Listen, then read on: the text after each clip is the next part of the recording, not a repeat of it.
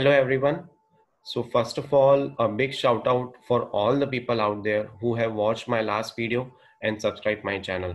So I would uh, thank you all of you from the bottom of my heart from the channel RD Automation Learning. We would expect same and same kind of positive response from each and every one of you in the upcoming videos also. So just for your information, we have a breaking news in the industry of robotic process automation the Automation Anywhere has been named as a leader in the 2020 Magic Quadrant for Robotic Process Automation by Gartner. So just sharing as you should know all the updates about the industry when you are preparing for the interview. So today's video is all about, you know, how to create the first bot in the Enterprise A 2019. Now, before Enterprise A 2019, in the automation anywhere product versions if you see they had started with uh, 8.x then they came up with 9.x 10x and then they came up with 11x now 11x is the last lts version of the automation anywhere family. Now they have started marketing and selling enterprise a 2019 so enterprise a 2019 is the latest uh, product available for this automation anywhere product. So if you are uh, trying for a job in uh, auto in RPA industry and uh, if you learn this product enterprise A 2019 it would be very helpful for you in getting the job. So today we are going to see how we will create the first bot. So this is the control room basically.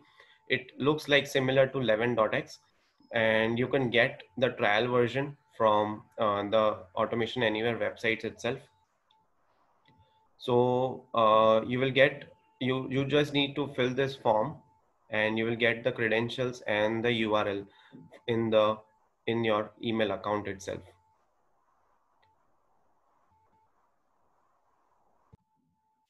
So let me log into the control room.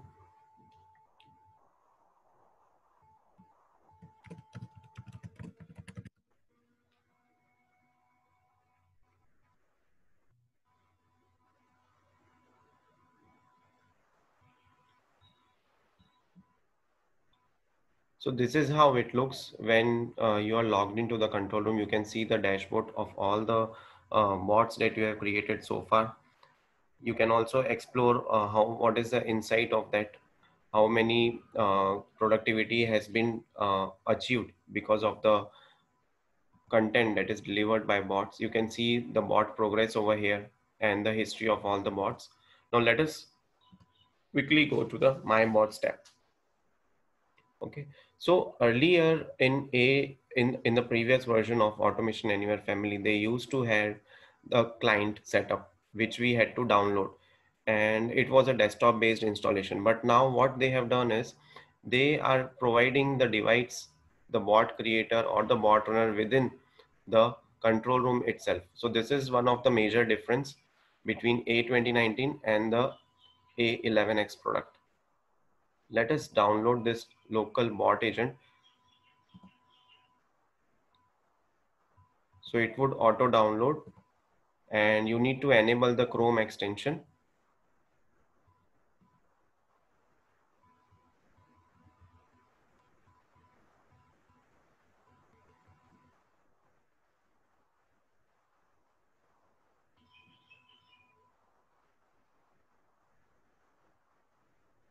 So it would connect to your computer soon.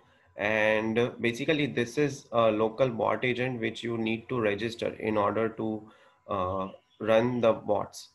So earlier we saw uh, the automation anywhere was a desktop based uh, client that was coming in which we used to create the bots. Now in A 2019 itself, they have provided the GUI in such a way that you don't, you just have to install the bot agent and automatically it would register and you have to provide the credentials over here.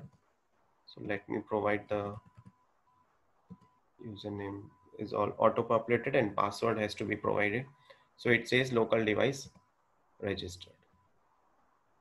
Now if we refresh this, right? So it says connected. So this is your uh, local bot agent and it is connected to your A2019 control room. Now we would go to bots section so you can see the bot section that has been revised and you can create a bot over here itself. Now here is going to be a bigger change. Um, let me name it as my first bot.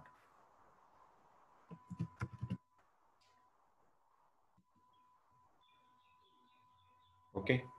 So now if you see the whole editor that was there in the client, which I was just mentioning has been provided over here. So this is a big change. They have moved the entire editor that was there in the client into the A2019 control room itself. Now you can create your bots over here. You, the list of commands is provided. You don't need to do any scripting over here. Uh, we would simply drag one action message box and let's say hello world and we will close this message box after five seconds. Let us save this.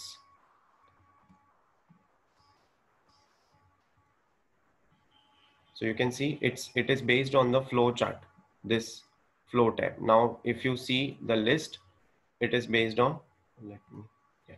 So it is based on the the list that is provided. It is it would display all the steps in one sequenced list form.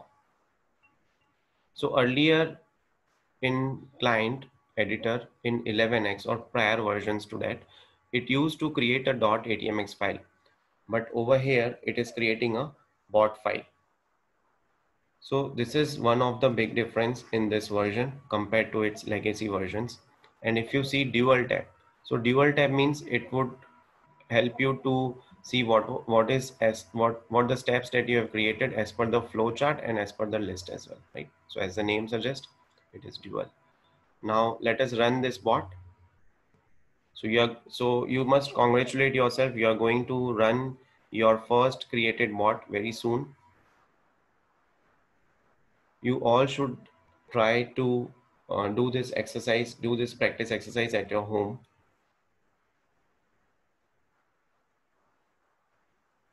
So by the time it runs, let us see um, what are the difference differences in this uh, tool. So as you as you can see, AE client was a separate desktop-based application in version 11x. In 2019, it becomes a cloud-based editor. Over there, it was a .atmx file extension. Over here, it is a dot .bot based on packages.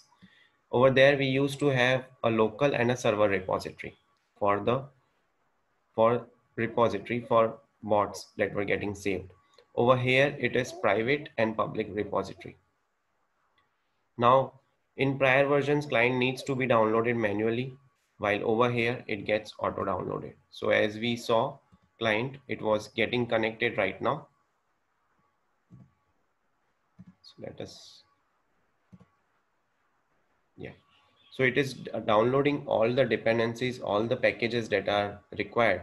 And it this a2019 is basically a cloud-based uh, control room product that the Automation Anywhere has created.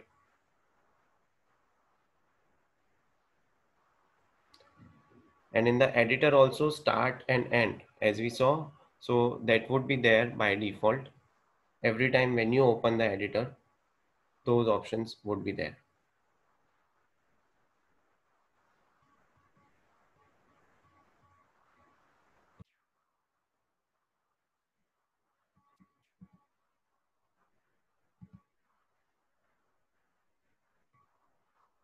Now let us run it.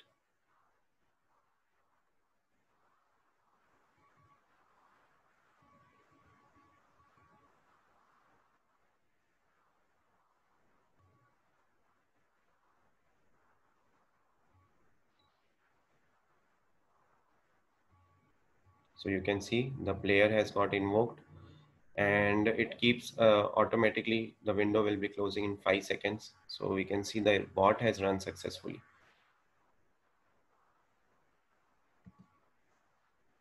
So this was a very um, basic bot that we had created since this is the first bot that we are trying to showcase to you. What over here we can also do is you can select this command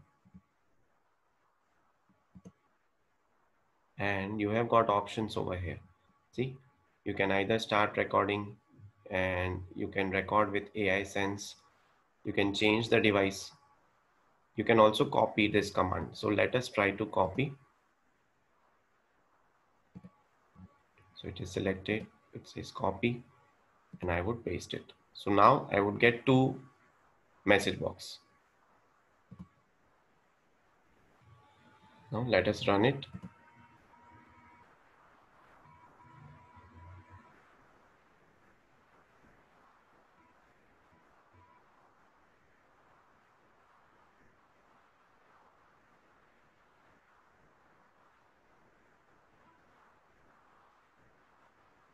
Okay, it is deploying to the computer. It is creating the packages in the backend.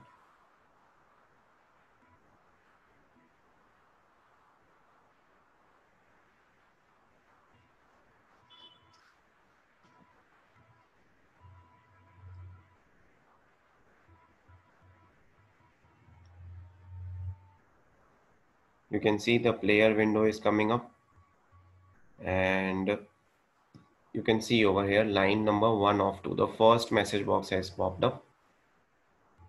Now you can see the second line. Line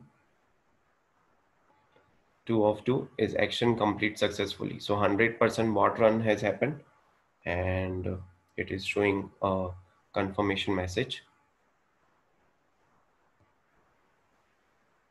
So if you face any of the issues in creating your first bot, just drop a comment on this video Thank you friends for your time. Please subscribe my channel. Stay tuned for more videos.